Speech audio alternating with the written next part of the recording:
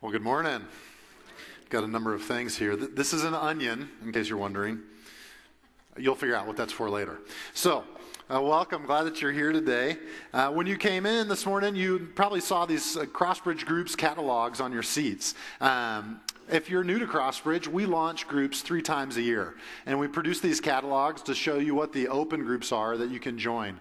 And in this catalog, there's a number of uh, different groups meeting all over the place Ottawa, LP area, Mendota, and uh, different kinds of groups, different lengths of time. And so we invite you to actually take that with you when you leave today and check that out this week. And uh, then sign up start on Saturday.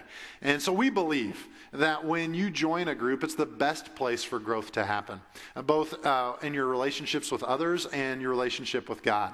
And so uh, I'm the groups guy at Crossbridge, and so I promise the plug is over, okay? So, but take that with you and check that out this week. We start signups next Saturday. Well, we do. Uh, we are continuing our uh, series, "Address the Mess," and we're looking at forgiveness and different dimensions of forgiveness. And the, the type of forgiveness we're looking at today is difficult. Uh, you might even say the struggle is real. How many of you have heard that phrase, right? The, the young kids seem to use that phrase, the struggle is real, when they talk about things that are difficult. And I thought I'd warm us up a little bit today and talk about different ways the struggle is real, okay? So we'll have some pictures to, to get us going, all right? So uh, when you are a Bears fan, the struggle is real, all right? Uh, when a drive across town should take seven and a half minutes but takes 30 minutes because of a train, the struggle's real. And, and, I'd also add to this when your wife wants to single handedly take on the railroad industry, the struggle's real. All right? Well, when you live in Illinois but you dream of Florida beaches, the struggle is real. Uh, when you get rid of all, and I mean all of the baby stuff you own because you're done having kids and you find out you're having a third child, the struggle is real. Just saying, okay? When your lead pastor won't stop talking about the St. Louis Cardinals, the struggle is real. Yes. So I can say that because he's not here today, all right? So we're going to like edit that part of the video, right? Is it possible? Okay, anyways. So, well, today uh, we're talking about forgiveness. And a, a subject within forgiveness where the struggle really is difficult. And today we're talking about though forgiving those who have sinned against us. And, and I think one of the reasons why today is so difficult is because it's really personal. Uh, for some of you, all I had to say was that phrase, right? Forgiving those who sinned against us. And someone's name or face popped into your head. Someone who has sinned against you. Uh, see, I think part of what makes today maybe a little bit difficult as we think about this subject is we're not talking broadly about forgiving others. We're talking about forgiving people who have sinned against us specifically. Uh, these people that hurt us, they have names, they have faces, there's memories, and for some of us, pain is probably still very real from the way that they hurt us. And you see, today's message is deeply personal because our pain is personal. Uh, because the people that hurt us hurt us in a very real way. And so when we think about forgiving those who have sinned against us, the struggle is real. And so today I want to talk about that. I want to talk about the struggle of forgiving those who have sinned against us. But I also want to think about how Jesus helps us and challenges us to become forgiving people. And so we're going to get in in Matthew 18 in just a few moments. But before, I want to give you just a little background on what's going on uh, with Jesus and his disciples. And many of you know Jesus picked 12 people to invest his life in.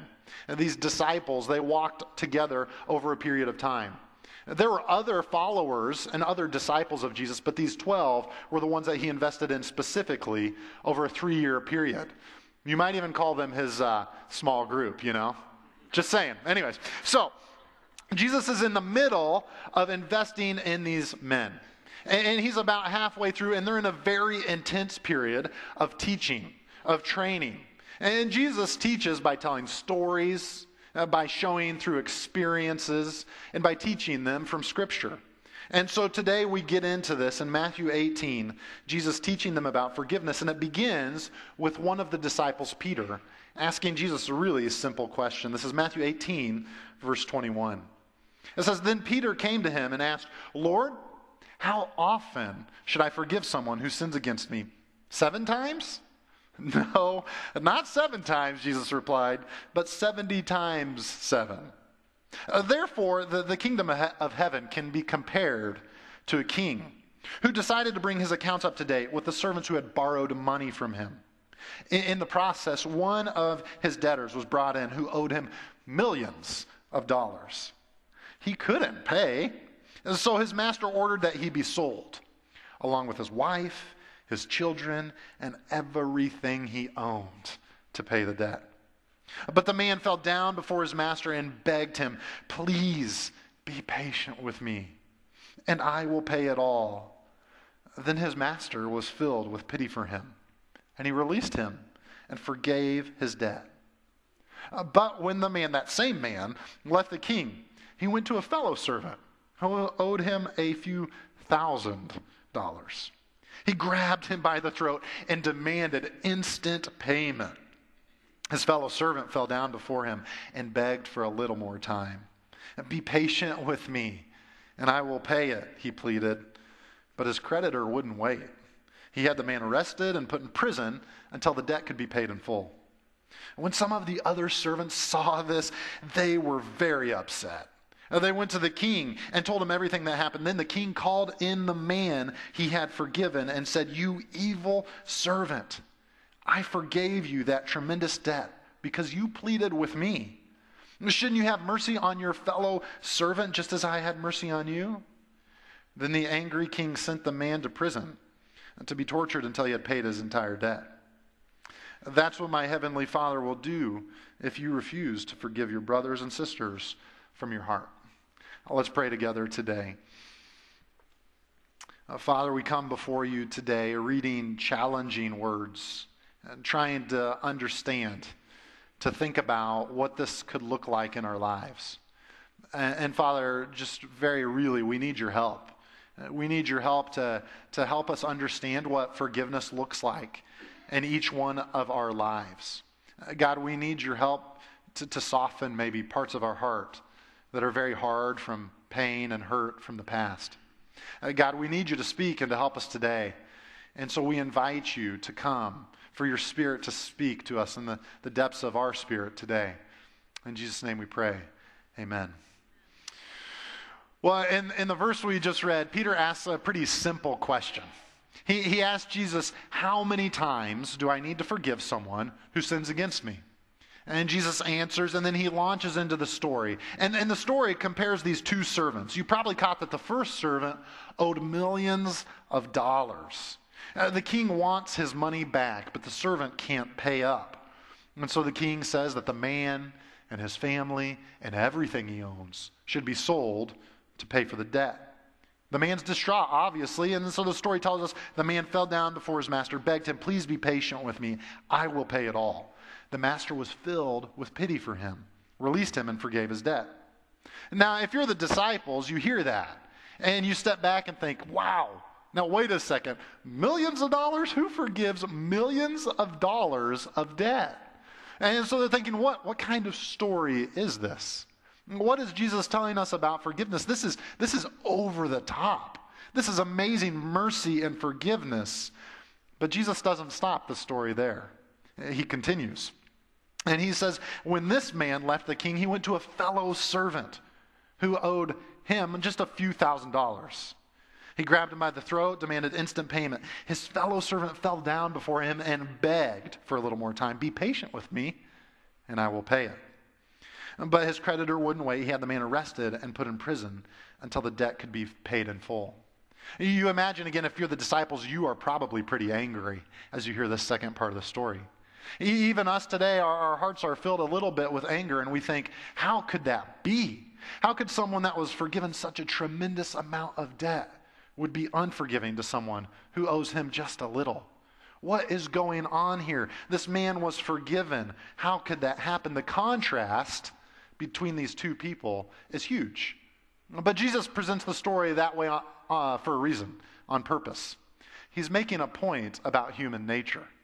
You see, Jesus knows that our natural tendency is to want forgiveness but to withhold it from those who have sinned against us. When everything's on the line for you and me, we really want to be forgiven. We may even plead and beg to be forgiven when we have done something wrong.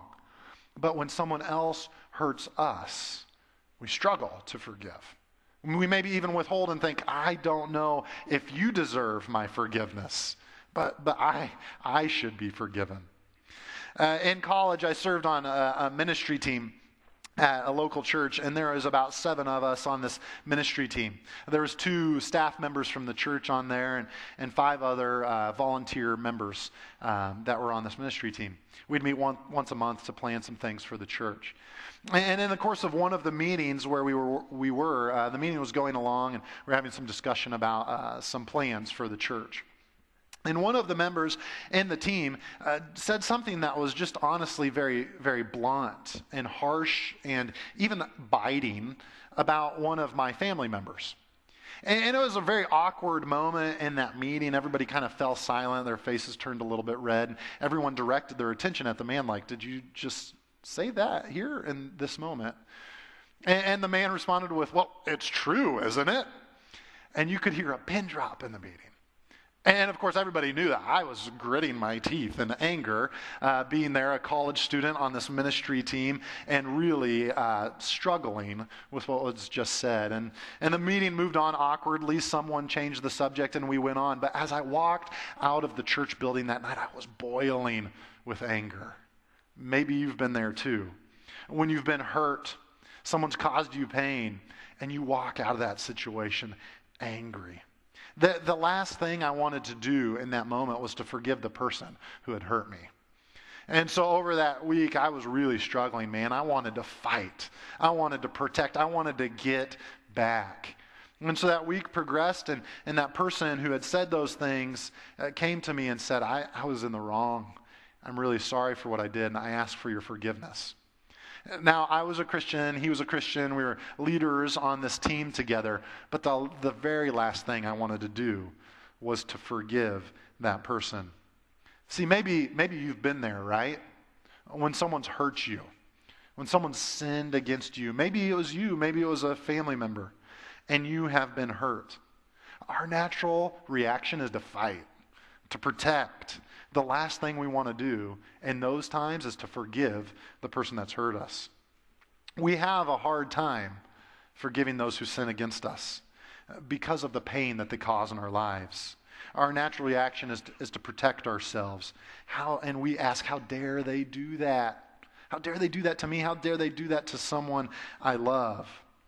And for some of us, that pain may have happened a month ago or a year ago maybe five years ago, maybe 10 years ago. But the pain is still fresh, it's still real, it's still there. You and I both know certain people who are held captive because they haven't forgiven those who hurt them. Some conflict or something happened and they just can't forgive. They can't move on from the pain that's in their lives. You and I both know people, or maybe we are those people today, who are held captive because we haven't forgiven those who caused us pain. And so we struggle. And the struggle is real to forgive those who hurt us. Now, this is the part of the message where I'd like to just say, it's all good, right? Jesus is cool with that. He gets pain. He encountered pain himself. People hurt him deeply, and so he understands. Don't worry about it. Just go about your life. That's what I want to say to you today. But it's not what Jesus tells us. And so Jesus is pretty clear about forgiveness. And in Matthew 6, just it's blunt and it's in our face. Jesus simply says, If you forgive those who sin against you, your heavenly Father will forgive you.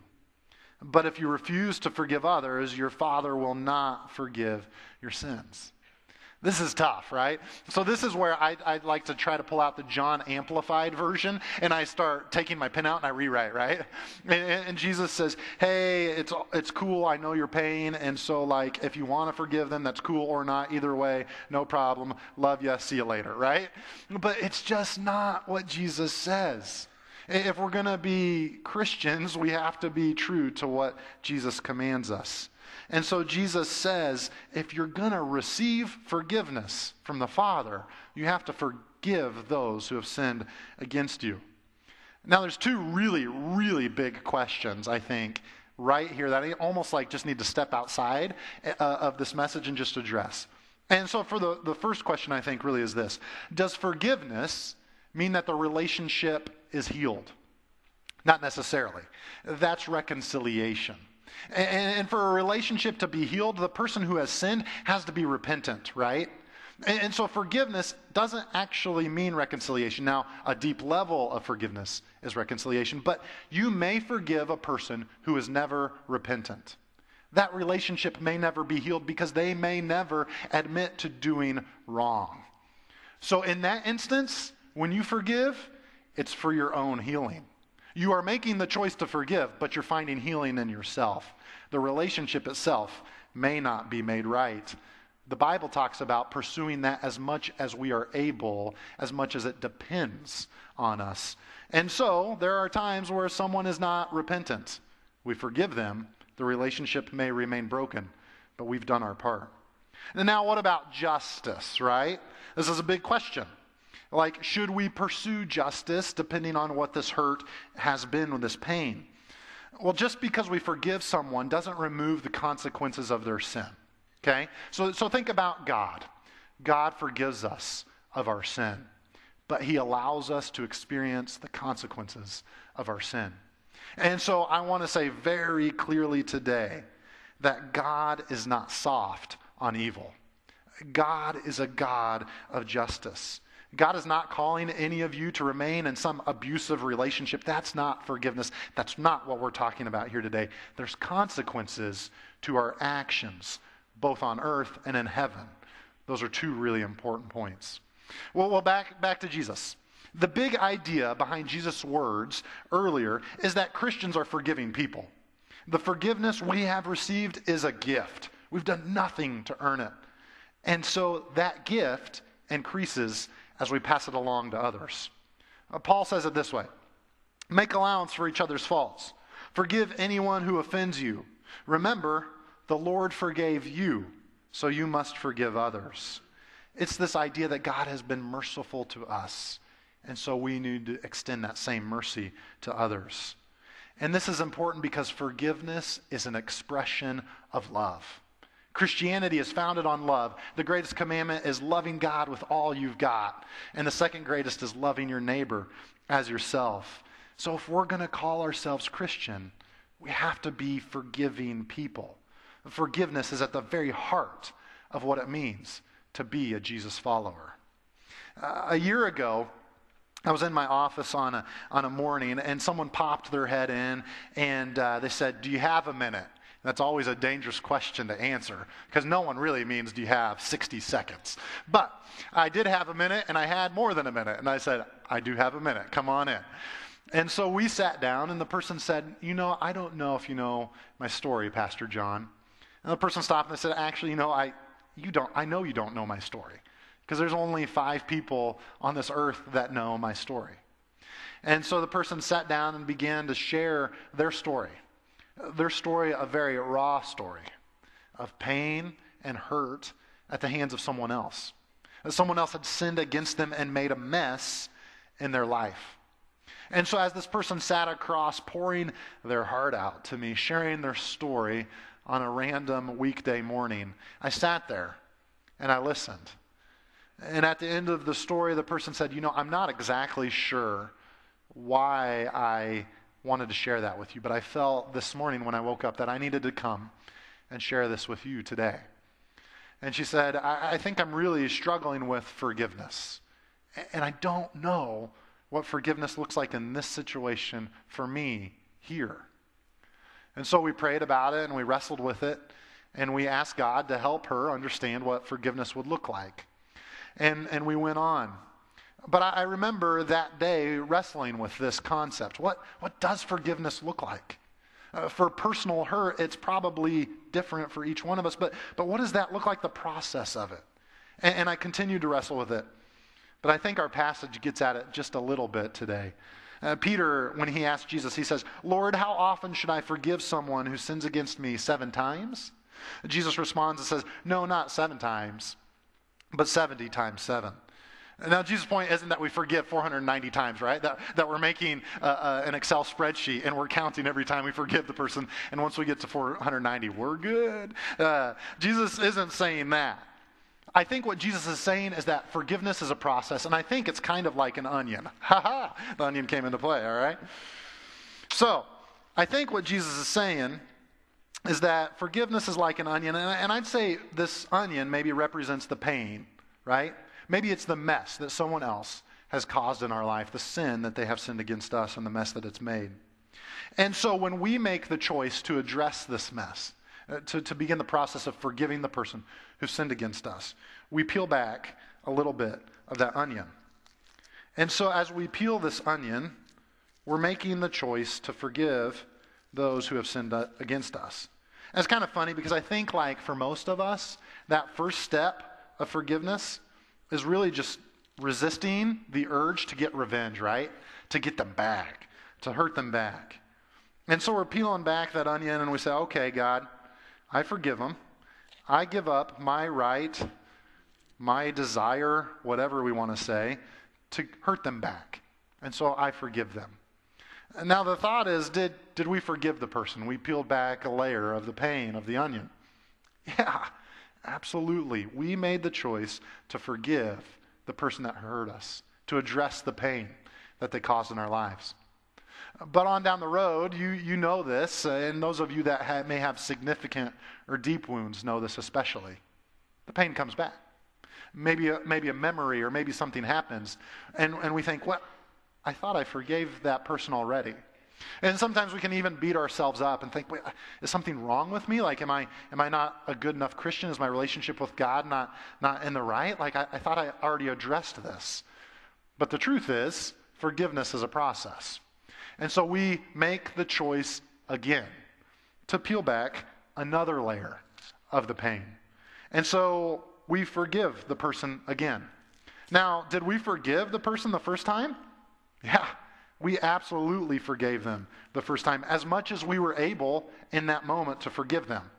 And we forgive them right now as we peel back another layer of the onion, as much as we are able in this moment. And so we peel back another layer. And the reality is, the pain's still there. It's less. The mess is still there. It's less. Have we forgiven the person? Yes. Is there going to be more forgiving to do? Absolutely. And so I think forgiveness is like an onion because we continue to address the mess in our lives. We continue to address the pain. We revisit it over time. I think Jesus is saying, Peter, if you're counting forgiveness, you're totally missing the point. You're missing the point, you're missing the heart of forgiveness because it can't be measured. Forgiveness is something that you will revisit over time. And I think Jesus is even saying, Peter, you might have to come back to this bad boy 490 times before you find healing. And that's okay. And, and, and, Jesus might even be saying, you know what, this, this mess, this hurt, this pain might be with you for the rest of your life. But you continue to forgive, you continue to address, and you continue the process. I think it's not only that we revisit it over time, but I think there's depths of layer and dimension to forgiveness. You see, the Bible isn't super specific about what it means to forgive a person. It gives a really broad and wide definition of forgiveness. Some of the definitions of forgiveness in the Bible are resisting revenge, not repaying evil for evil, even coming to a point where we could wish the other person well. We can maybe even come to a point where we've forgiven them so much that we grieve when the person who hurt us is hurt by someone else. The Bible is pretty bold in saying you can come to a point where you've forgiven them so that when you pray for them, you're praying that God would even bless them. Uh, forgiveness can get as deep as the relationship being made right and reconciliation as far as it depends on us. And then forgiveness can even reach a point where the person who hurt us is, is in need. They need help. And we'd be the one to reach out and to help them. You see, I think forgiveness is unlike an onion because we don't only revisit it, but as we peel back the layers, we experience a deeper and deeper level of forgiveness. And it works its way deeper and deeper into our hearts. And so we revisit the pain. We make the choice to forgive again. We res- resist revenge all the way to being willing to help them when they find themselves in need. But how do we become that kind of person, right? We're not naturally those people. How do we become the kind of people that are willing to not only peel one layer, but to peel 490 layers? Well, I think there's two really quick things I want to share this morning. The first is we have to believe a certain thing, and that is simply this that God is working all things together for the good of those who love him. Romans 8:28 says it this way, we know that God causes everything to work together for the good of those who love God, that are called according to his purpose for them. You see, I really believe that God is dynamically working in this world, interacting and responding to the pain and the hurt, working in the lives of those who love him. He takes everything and can make it good. It's really important to say that God doesn't cause everything, but He can cause all the things in our life to be good. He can work it for good. Now, we may not see it in the moment, right? We may, may not have perspective, and we even wonder is it possible that this mess could become good? I, I don't see it, I don't understand it. But we can trust that God is able to take that mess and bring some good out of it which is really good news for us because it means that we don't have to redeem our own pain. Uh, we don't have to try to fix the things in our life because God is the only one that can redeem our pain. He's the only one that can take our hurt and make it good. That's not our job, that's His job. So, the first way we become forgiving persons is trusting that God can take that mess and in some way bring good out of it. Now, the second way that we become a forgiving person is by doing something. And that's simply praying for those who have hurt us. Jesus says in Matthew 5, You've heard the law, says, Love your neighbor and hate your enemy. I say, Love your enemies. Pray for those who persecute you. In that way, you will be acting as true children of your Father in heaven. Now, Jesus tells us, Pray for those who have hurt you, pray for those who have caused your pain. As you do, you'll find that you're becoming a forgiving person. Is that easy? Absolutely not. No, it's not easy to pray for those who have hurt us, who have caused our pain. In fact, when we pray, those prayers are forced. We don't even really feel them. But maybe even the first prayer to God is God, I can't even pray for that person. Help me because I'm unable. Help me to begin to pray for them. But Jesus begins, he gives us this thing to do to begin praying for those who persecute us. Because as we do, our hearts are changed towards them. We become a more forgiving person, extending that to them. We take on the character of Jesus himself. You see, we believe that God can turn our pain and make the mess that someone else has caused in our lives, that He can bring some good out of it. And He gives us this practice to do, to pray for them, to help us on the journey. Now, today, I, really want to honor and just say this is difficult work. Like, this is hard. Uh, and, and I don't, I don't want to stay, stand up here today and say, I understand or even know your pain. That I don't. I don't know all of your stories. I don't know the depths of your pain or your hurt. And I'm not going to stand up here and say, go do it. You know, you got this. I'm not going to stand up here and act like I understand or to trivialize what you've been through. I guess what I want to stand up here today and say, it's really, really hard. But it's possible. And it's kind of, it's expected. And so God is able to help us to begin to peel back the layers. And it probably looks different in each person in this room's uh, in your life uh, because we peel back the layers differently. Each situation is a little different in how the hurt has occurred and the pain. And I, I believe and I truly understand that God knows that. But, but Jesus gives us this process of trusting Him that, that He can make all these things good and inviting us to pray for those people so that we can become forgiving people. Last night after the service, someone came up to me and they said, I, I felt incredibly convicted this entire message, and I, I, don't really know. Like, I don't know if I'm doing the right thing. And so she, she opened her heart, and we talked for uh, quite a while. And, and I said, It sounds like to me you are doing the right thing. But if you're wrestling with whether you're being forgiving or, or what forgiveness looks like in your situation, just ask Jesus. Ask Him. He's the one that, that asks you to be a forgiving person, so ask Him for His help. He'll, he'll talk to you. We believe that the Holy Spirit will communicate at a depth and a level to your spirit, and He'll make it clear. You don't need to feel any guilt. Just be open to what God says to you. Ask a few trusted friends consult Scripture, and God will make it clear to you. I think this is a deeply personal thing for each one of us. And, and, what it looks like to begin to peel the layers back may look different for each one of us.